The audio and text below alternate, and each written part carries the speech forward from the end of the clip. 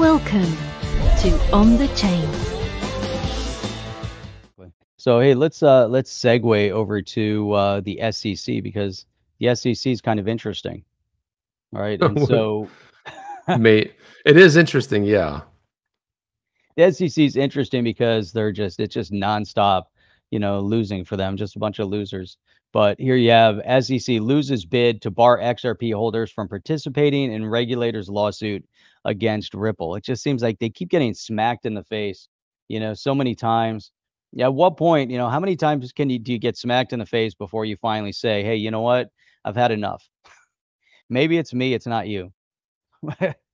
I mean, at, at what point? At what point do they say that? And it's just, it's all, you know, completely their fault. You know, they they keep stepping in it you know, they keep uh, overreaching. Uh, they they've singled out, you know, using their pillars of enforcement. Uh, they launched this lawsuit, and then they attack the XRP holders. Uh, they've say said very derogatory things uh, to people that are in the XRP space.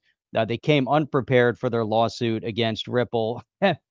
it just goes on and on and on. But here, U.S. District Judge uh, Analisa Torres is showing XRP holders uh, is allowing uh, XRP holders to remain a part of the U.S. Uh, Securities and Exchange Commission's ongoing legal battle with Ripple. And I think this is uh, an important part here. They'll allow them to retain their status, which is a really big part of what uh, you know John Deaton. Obviously, this whole thing, you know, revolves around uh, the lawsuit that John Deaton is spearheading, or the involvement request in the in the lawsuit uh, that uh, Deaton has been spearheading. And so I think this is this is a really really big move, Chip. What what are your thoughts? SEC big winner or big loser? Well, Jeff, to your point there, you know it's funny when you when you think about private versus like government. The government has access to a lot of a lot of uh, resources when it comes to let's say an endless supply. I want to say an endless supply but they're not worried like a little company would be worried about the legal fees. We heard from Garlinghouse that when it's all said and done, they're going to spend over $100 million, right? Yep. What I think about is that Ripple can hire has a has a universe of the best legal available. The SEC has the best legal available of who is working for government for hire, which is a very minute sort of thing. So you think about this, their counsel is going to be way better. There's just no doubt about it. And we've seen their counsel just crush the SEC. And that last phone call, Jeff, you and I have talked about it. I really started feeling bad for the counsel for the SEC because we hadn't heard from her before, um, this new um, attorney representing. And unfortunately, they set her up to fail because only because of how many times, like you said, they just like they keep losing and they keep doing stupid things. And so what do we end up hearing about? Well, we ended up hearing about the the whole this this whole collapse uh, on the call. Well, wait a minute, was the security? Wait, all of XRP and the secondary markets of security. The whole thing's gone pretty pretty bad, Jeff. And you're right. I think you're right that keep losing is an understatement, but they keep stepping in it big time. You want to throw that up there? Go ahead, throw that up there. What the heck is that, Jeff?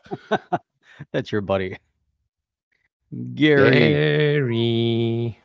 Gary. You know, you have to the uh the you have he's always with the hands and he's she locked in a basement somewhere. he probably is.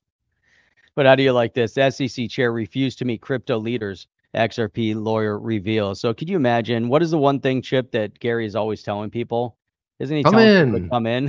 Talk come to in. us. Come on in. come in. in and talk to us. We'll slap you with a Wells No. notice, which means you'll be a future, which means we'll be in, you know, you get you sued at some point, some future enforcement. Come on So in, John- talk to us. So John Deaton, you know, founder of Crypto Law, lawyer for the XRP holders, claimed that Gary Gensler refused to meet the 69,000 XRP holders. However, he also revealed that uh, SEC chair didn't even meet with Congress. Instead of meeting with key players, Gensler meets around seven times with a firm that controls 90% of his money. So, where do you think his allegiance is to the people uh, that he was uh, appointed to help or himself? And it just seems like it's a very uh, uh, common uh, theme that we're seeing lately that these individuals within uh, the political echelons uh, seem to be milking the system for hundreds of millions of dollars. And he's no different, even though he made uh, you know a significant amount of amount of money in the private sector. Um, however, since he's been in government, uh, he's just using the people and using position of power, and now he's uh, increasing his wealth. Here's his uh, wealth is being around a hundred million dollars. There you go. And that's it. They don't, and it's amazing because it's not just that the commission doesn't care about improprieties, appearance of impropriety. It seems like there's a lot of government. They just don't seem to care. Now it's just, it's in our face. They're just flaunting it. What are your thoughts? Jeff, I, I just keep going back to what you just keep saying. They just keep on losing. But listen, I mean, in all fairness, if you are you want to be careful where you move your power. So if you're someone like Gary Gensler, and I'm thinking like the SEC and the pillars of enforcement, you don't want to, it's not going to help your case or your mission of enforcement if you go out and meet with uh with XRP holders, right? Of course, you want to worry about your personal wealth, you want to see all that, but and it, and it looks like well that does it's not a good look, but the bottom line is is that why would why would he meet with with XRP holders? Why would he meet with someone like I mean, but it comes down to the whole thing is like when you do meet, you get slapped with a Wells notice anyway. So what if you're a private, you know, retail holder of XRP? You get into this whole sort of concept over and over again, and I honestly don't think any good thing. I don't think anything good comes from it. I wanted to throw this up here, Jeff. Look at this question here that you marked. So hmm. Ripple Preacher do we know yet who the third oh. party was referred to in the latest release in the court case? Good question.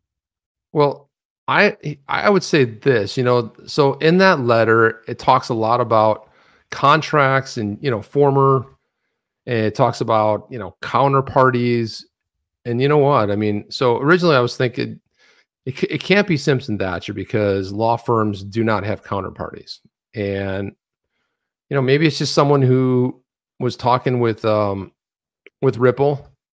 Maybe it was somebody who doesn't want their name out there for obvious reasons because if suppose the SEC knew that this company was talking to Ripple and let's suppose it's a company based in the US, they don't they probably don't want the heat coming down on them.